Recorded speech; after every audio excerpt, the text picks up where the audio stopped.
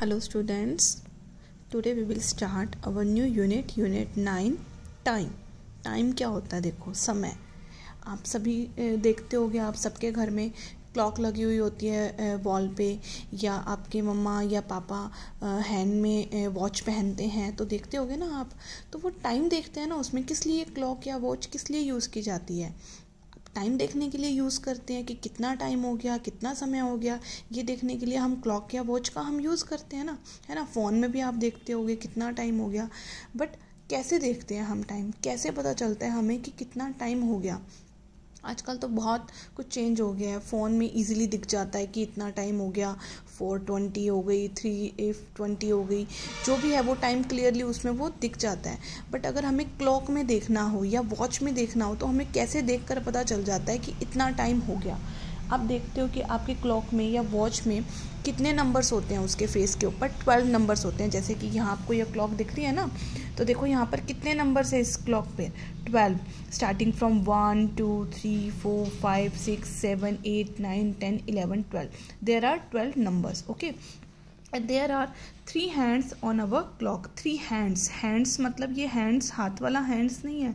यहाँ पर हैंड्स का मतलब होता है कि जो ये एक लेंथ में बनी होती है, हम, जिसको आप कुछ लोग सुई भी बोल देते हो, है ना? उसको इंग्लिश में हैंड्स बोला जाता है। तो थ्री हैंड्स होती हैं। एक होती है आर एंड जो हमें ये बताती है कि कितने आवर्स हो गए हैं, कितने घंटे हो गए हैं। एक होती है मिनट हैंड जो हमें बताती है कि कितने मिनट हो गए हैं। और एक होती है हमारी सेकेंड हैंड जो हमें ये बताती है कि कितने सेकंड हो गए हैं।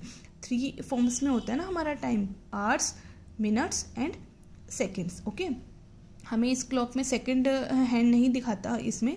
इसमें सिर्फ़ आपकी मिनट हैंड और आर एंड होती है। जो आर एंड होती है वो लॉन्ग होती है, उसकी साइज़ जो होता है, वो लेंथ जो है, उसकी बड़ी सॉरी स्मॉल होती है। आर एंड की जो लेंथ है, वो स्मॉल होती है। एंड मिनट हैंड जो होती है, उसकी लेंथ हमारी क्या होती है? बिगर होती है। Like there are two hands ये है जो इसको हम हैंड्स बोल रहे हैं। This one is the smaller and this one is the bigger तो जो स्मॉलर है, वो क्या होती है? आर एंड जो आर्ट्स बताती है। और जो लॉन्ग हैंड है that is the minute hand जो हमें मिनट बताती है कि कितने मिनट हो गए। क्लियर है ये? अब देखो जो हमारा हर नंबर के बीच का जो गैप है, ये फाइव मिनट्स का होता है। यानी एक नंबर से दूसरे नंबर तक आने में मिनट कितने लगते हैं? फाइव मिनट्स और आवर्स कितने लगते हैं? एक नंबर से दूसरे नंबर में आने में वन आवर लगता है ओके आर तो कितना लगता है? वन। ठीक है, क्योंकि जब एक नंबर से दूसरे नंबर पर ये शॉर्ट हैंड जब आती है, पूरे के पूरे ये कवर करती है, तब जाके दूसरे नंबर पर आती है। तो ये वन आर ले लेती है।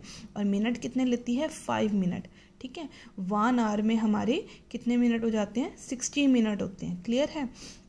तो आप देखो ये सब चीज़ें हम बाद में करेंगे। फर्स्टली जो मेन है कि टाइम हमारा सिंपल टाइम से हम स्टार्ट करते हैं कि हमें टाइम कैसे पता चलता है कि कितना टाइम हो गया। जब आपकी शॉर्ट हैंड शॉर्ट हैंड किसी नंबर पर होती है किसी भी नंबर पर, ओके? और लॉन्ग हैंड हमारी किस पर हो? ट्वेल्व पर हो। लॉन्ग हैंड यानी कि मिनट हैंड अगर हमारी मिनट हैंड यानी कि लॉन्ग हैंड अगर वो तो ट्वेल्व पे हो, और जो शॉर्ट हैंड है वो किसी भी पर्टिकुलर किस नंबर पे हो तो उस, जिस नंबर पर होती है, उतना ही टाइम हो जाता है। जैसे अब यहाँ पर बड़ी जो हैंड है वो किस पर है? ट्वेल्व पर है। और शॉर्ट हैंड किस पर है? थ्री पे है। तो मतलब थ्री ओ क्लॉक हम बोलते कैसे हैं इसको? थ्री ओ क्लॉक मतलब तीन बज गई है। ठीक है? थ्री ओ क्लॉक क्लियर है? तो ऐसे ही है देखो। अब यहाँ पर ये शॉर्ट हैंड किस पर दे दी है? फोर पर। और लॉन्ग हैंड किस पे दे दी है? ट्वेल्व पर। ट्वेल्व पर ही है ना? लॉन्ग हैंड ट्वेल्व पर ही होनी चाहिए। तभी ये वाला प्रोसीजर फॉलो होता है। लॉन्ग हैंड आपके किस पे है? ट्वेल्व पर। और शॉर्ट हैंड किस पे है? फोर पे। तो मतलब क्या टाइम हो गया?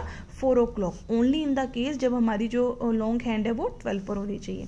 सेम है देखो लॉन्ग हैंड भी ट्वेल्व पर है शॉर्ट हैंड भी ट्वेल्व पर है। तो लॉन्ग तो ट्वेल्व पर है, यहाँ क्लियर हो गया। अब शॉर्ट हैंड ट्वेल्व पर है तो टाइम क्या हो गया? ट्वेल्व ओ क्लॉक सिमिलर है, बिल्कुल ही ऐसे ही है सेम वे में ओके अब इसी का अपोजिट कि आपको टाइम दे दिया, अब आपको वो हैंड्स लगा कर दिखानी है कि हमें जो टाइम दिया है, उस अकॉर्डिंग हमारी जो हैंड्स हैं, जो सुई है, वो कहाँ होनी चाहिए, ठीक है? जैसे अब इसमें दे दिया सेवन ओ क्लॉक मतलब पूरी सेवन बज गई है ना हमारी seven o'clock seven o'clock है मतलब ऑब्वियस है कि हमारी जो लॉन्ग हैंड है, बड़ी हैंड है, जो हमारी मिनट हैंड है, वो किस पर होनी चाहिए? ट्वेल्व पर तो ट्वेल्व पर है। अब सेवन ओ क्लॉक है मतलब आर एंड यानी कि स्मॉल हैंड किस पर होनी चाहिए थी? सेवन पर। नेक्स्ट है फोर ओ क्लॉक पूरा फोर ओ क्लॉक है तो जो लॉन्ग हैंड है। लॉन्ग हैंड आपको क्लियर दिखना चाहिए कि वो लॉन्ग है। तो लॉन्ग हैंड किस पर आनी चाहिए थी? ट्वेल्व पर। यहाँ तक ठीक है। अब फोर ओ क्लॉक वो है मतलब जो शॉर्ट हैंड है, छोटी सुई है, वो किस पर होनी चाहिए थी? फोर पर। तो ये डिफरेंस दिखना चाहिए कि ये शॉर्ट है और ये लॉन्ग है। तो हमारा ये क्या टाइम हो गया? फोर ओ क्लॉक ऐसे ही देखो वन ओ क्लॉक में शॉर्ट हैंड वन पर और लॉन्ग हैंड ट्वेल्व पर। क्लियर है? सेम वे में है, बिल्कुल इसके other part okay so using this procedure you have to complete the page number one hundred seven in your maths book thank you